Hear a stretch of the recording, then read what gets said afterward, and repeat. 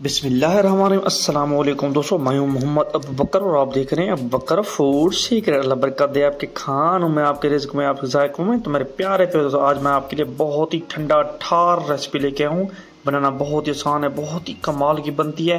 اور آج میں آپ کی خدمت میں لے کے آیا ہوں فالسے کا جوس۔ سب سے پہلے آپ نے کیا کرنا ہے؟ سب سے پہلے آپ نے فالسے لے لینا ہے، اس کے بعد آپ نے اس کو جو ہے دھو لینا ہے۔ اچھے طریقے سے ان کو دھو لینا ہے تاکہ اس میں جو مٹی وغیرہ ہوتی ہے وہ نکل جائے۔ بہت ہی کمال کی اور بہت ہی آسان، مزے کی ریسپی ہے اور ٹھنڈا ٹھار گرمی کی دشمن ہے۔ تو آپ نے خوبصورت سا جگ لینا ہے، جوسر لینا ہے۔ اس میں جو ہے آپ نے ڈال دینے ہیں فالسے۔ تو فال سے آپ اس میں ڈال دیں گے۔ اس کے بعد اس میں جائے گی حسب ضرورت چینی۔ تو اس میں میں نے جو ہے چینی کا استعمال کیا۔ اگر آپ چاہیں تو شکر کا استعمال بھی کر سکتے ہیں۔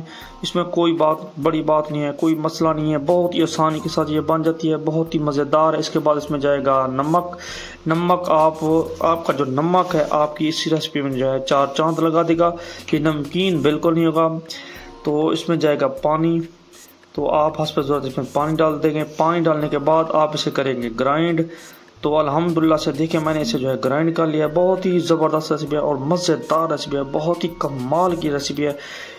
تو یہ منٹوں میں تیار ہو جاتی ہے اگر آپ کے اچانک مہمان آ جاتے ہیں تو یہ ریسیپی آپ کا جو ہے عزت رکھوائے گی۔ آپ کی جو ہے مہمانوں کو دنگ کر دے گی۔ تو دیکھیں الحمدللہ سے دیکھیں آج کی ہماری یہ ریسپی ہے۔ ہمارا جو شربت ہے بالکل پک کر تیار ہے، بن کر تیار ہے۔